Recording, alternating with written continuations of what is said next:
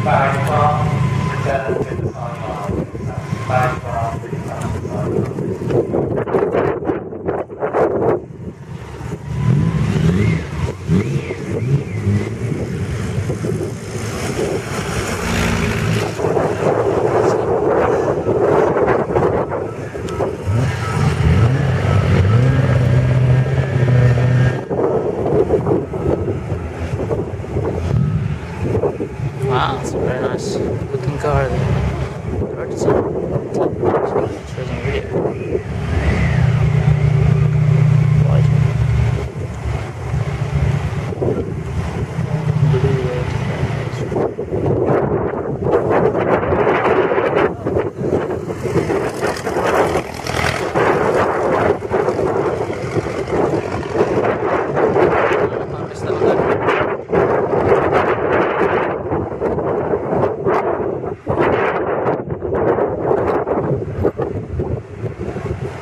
That is.